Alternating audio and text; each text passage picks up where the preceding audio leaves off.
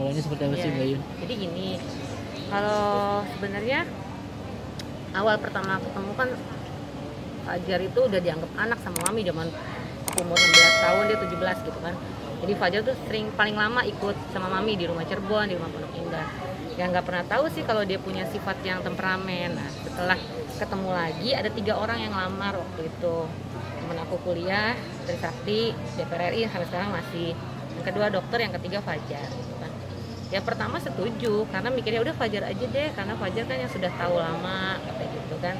Terus dia juga religius juga agamanya tinggi bisa ngebimbing kamu. Semua nggak sangka mama aku aku dan juga anak aku. Karena pertama awalnya tuh bisa gitu. Gimana sih orang yang kelihatannya orang pasti eh, ini dulu apa namanya eh, terkesan dulu gitu kan. Nah, setelah menikah itu baru satu hari setelah menikah itu akhirnya ketahuan di situ. Dia sempat nendang pintu kamar anak saya. Terus dia bilang bangsat lo anjing keluar. Kaget lah di depan mami waktu itu Hmm. ya kan?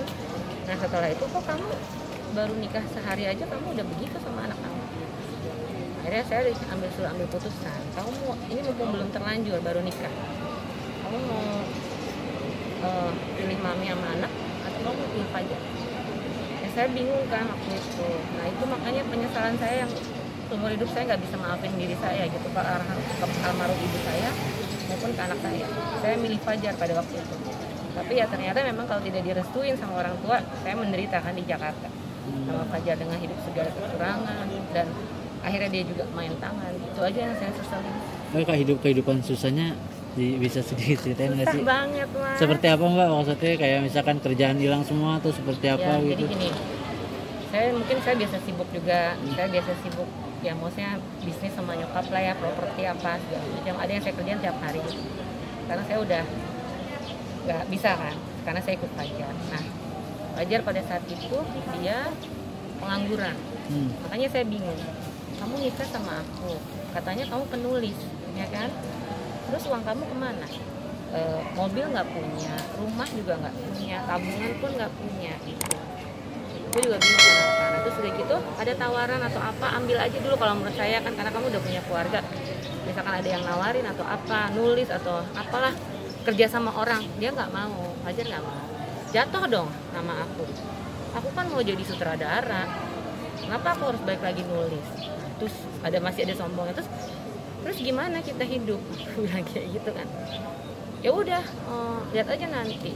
Jadi dia masih berhalusinasi dan berangan-angan dia pengen jadi sutradara dan jadi produser nunggu investor gitu. Tapi tidak mempunyai kemampuan sendiri gitu ya kan? Nah akhirnya sampai nggak tahu lah aku pinter dia ngomongnya untuk apa ininya pinter lah sampai orang yakin tapi akhirnya jadi terlilit hutang gitu banyak gitu kan. Makanya saya nggak setuju juga. Akhirnya sampai kita tuh aku tuh hidup aku tinggal di studio bayangin mbak aku tinggal di studio. Apartemen studio atau studio? bukan studio. Saya tinggal di studio. Oh, oke. ah udah deh udah yang bukan bukan tempat tidur. Hanya sofa. Bukan sedih banget. Nggak ada duit nggak ada uang. Nanti kalau misalkan nggak ada uang saya disuruh cari utangan. Nanti kamu bilang deh sama temen kamu pinjem. Nah terus nanti aku yang tanggung jawab bayar. Tapi sampai 2 tahun